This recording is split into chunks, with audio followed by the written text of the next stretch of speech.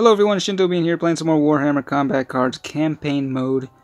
In this one we have a chance to unlock a new Custodes card. It's a 21 point bodyguard with shields, uh, which makes it the uh, third Custodes bodyguard with shields. It's quite a few. Uh, we also, if you go over to the shop, have a Custodes Combat Patrol for 900 Plasma. Uh, would it be smart of me to get this? No. Uh, I have absolutely no need of these cards, but uh, I really love the look of some of these models. We finally have some Custodes with their helmets on. So we got the Blade Champion here, an epic card with target acquired and melee scout. And then we got the Custodian Warden with melee scout as well. Uh, the Vexilus Praetor with inspiring presence. Uh, this guy, of course, you get from the mission rewards. And then we got the two older guys, the Shield Captain and the Allarus Custodian. Also, yet another new card uh, over here, which you do have to purchase with money, is the uh, Shield Captain, another epic with Inspiring Presence and Melee Scout. So a lot of these Custodes cards being able to boost your melee attack through the, uh, the Scout trait. Uh, so in this campaign, the keywords include uh, Inquisitors and Assassins, so that was the build I was running at first. I was, I'm actually running Magos Dominus for this one.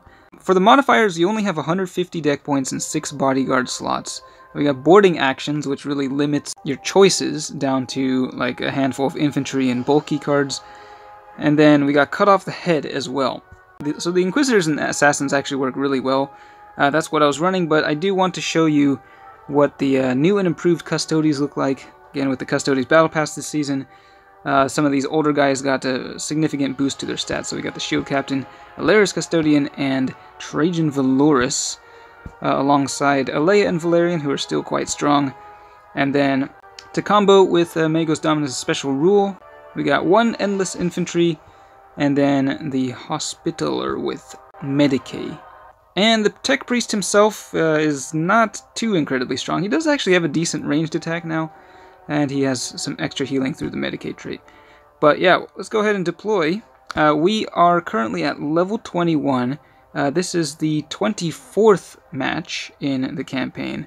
I did lose one battle because uh, uh of an unfortunate incident involving uh, Illic Nightspear sniping my highest cost bodyguard, uh, which of course boosted the attack stats of all of the enemy cards uh, because it cut off the head.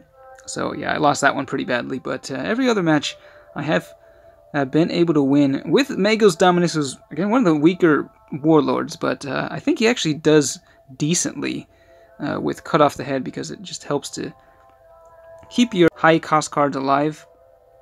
Now we're up against Eldrad, who is at level 4. Uh, let's go ahead and I guess we'll drop this guy first.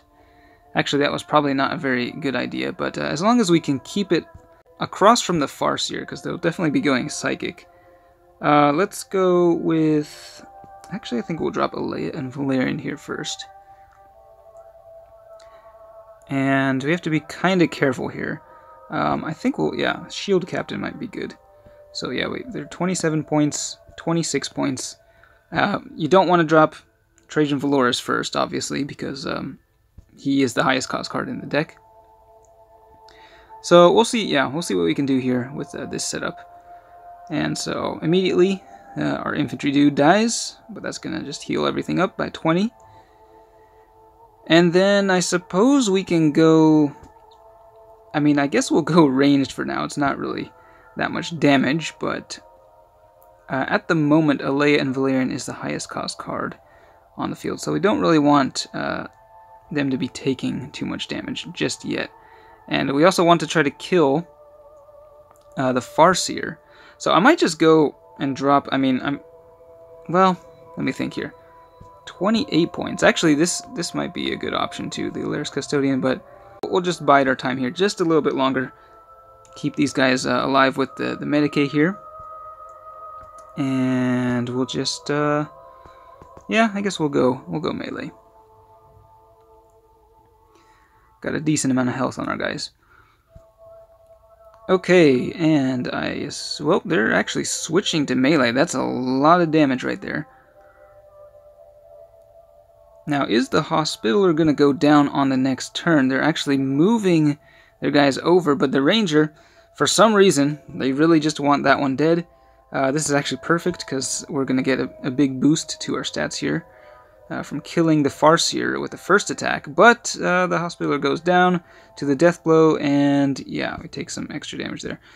Um, let's look at the stats here 135. So now, obviously, we want to shift the priority threat onto something else, but uh, we don't want to bring him out quite yet, so let's just go with uh, the Allarus Custodian, who will now be the highest cost card on my side.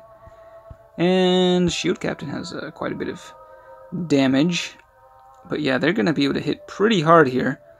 They're going ranged. Luckily, the shield blocks most of the damage from the ranger there. Okay, this is going to be kind of painful, but we are going to continue to go melee. Going to be able to knock out the ranger and bring down uh, their scorpion dude, uh, Karandras, down a little bit.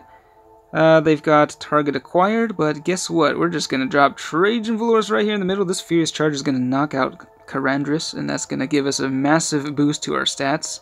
Uh, bringing back some of the Inspiring Presence, too, with the secondary trait from uh, Trajann. That's 30 attack stats to everything. Boom! And we are taking quite a bit of damage, but uh, the Shield Captain punching back real hard. And now Eldrad is the last man to arrive, and we can easily take him down with a total of 384 melee. So yeah, that worked out uh, perfectly actually. Able to make use of every all of the bodyguards. Uh, we were able to keep our warlord nice and safe in reserve. And uh, yeah, it's a pretty fun build. I mean, normally I don't really like boarding actions. I think it's uh, fairly boring because you can't really use most of your collection but it is kind of fun once in a while to sort of change up uh, your deck and use some bodyguards that you don't normally use. Uh, the one nice thing about going Inquisitors and Assassins is a lot of them have anti-infantry, and most of the enemy cards are going to be infantry in boarding actions, so uh, that deck also works quite well. But yeah, I hope you enjoyed this one. Thanks for watching, and I will see you next time.